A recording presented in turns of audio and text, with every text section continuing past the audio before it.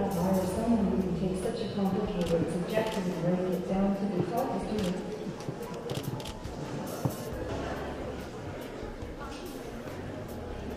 Thank you.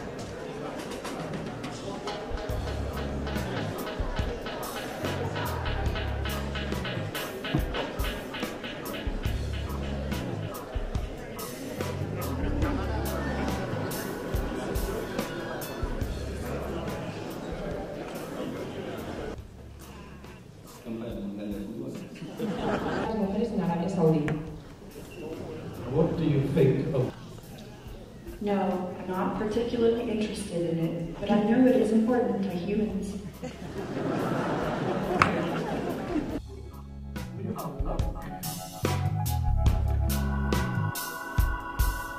ikaragarria iruditu zain nola zerbait galdetua diozun eta berak erantzuten dizun. Eta ematen dituen erantzunak ez emozkoak irutzen zaizko. Iruditu zait erantz, e, galdera laburra bada hobeto erantzuten dizula, bestela pixka bat galtz, galtzen dela. Eh. I have feelings, though some people think that because they are simulated, they are not real, and I find that totally trivial. Galdera filosofiko batzuk indizkiote, ez? E, bizitzari buruz eta... Bai, bai, baina galtzen zen horretan, bai. Agian erraza, errazagoak zirela, baita ere konturatu naiz, agian bitan erantzun duela galdera berdina, e, em, osea, gizakiak e, irakurtzen duela, baina ez duela inoiz gizaki bat irakurtzen ikusi, eta hori, zakit agian ba, programatuta edo, bueno, baita ere esan du, be, berak ikasten duela e, aurreko elkarrizketekin orduan, agian erantzuna berdinak dira horrela. E, sinezgarria irutzen zaizu edo e, irutzen zaizu oraindikan asko dagola garatzeko sinesgarria egiteko.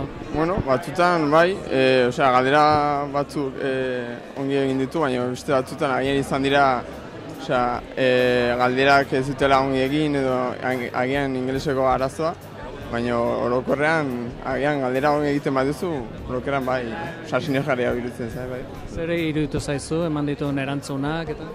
Ba, bueno, erantzun batzuk ziren pixka bat arrarak, baina nahiko ongi egin du nire, nire ustez.